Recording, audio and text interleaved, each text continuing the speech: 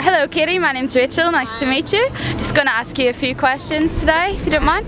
Um, so tell me about like your music taste when you started getting involved in music.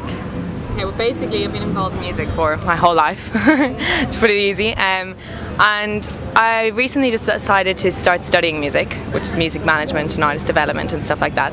Um, I listen to all different types of music. Like I mean everything. I go from the Beatles to Rolling Stones to nowadays bands like the Kooks, yeah. whoever. Give me some music and I'll listen to it. So that's about it. Oh, that's good. So if you were a colour, this is a tricky question, quite interesting though. If you were a colour, what colour would you be?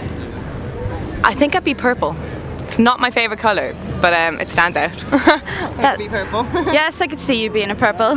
Today's society is becoming more involved with like fashion and um, celebrity and that idea of fame. What's your opinion on that? Like shows like Big Brother, etc. Um, I think it depends what kind of person you are. I mean, for some people, that's your thing. It's your thing. Do you know what I mean? Everyone's into something different somewhere along, along the line. Um, but I don't know. I think I think at every stage somebody wants to become famous. There's always the time when everyone wants their 15 minutes of fame and whether or not they're going to get it. So I think if you go for Big Brother and that's it, then that's it. Whatever happens, happens. Take what you get, I suppose. well, it was lovely to meet you today and I got to know you a little bit better. So thank you very much and hope to see you soon.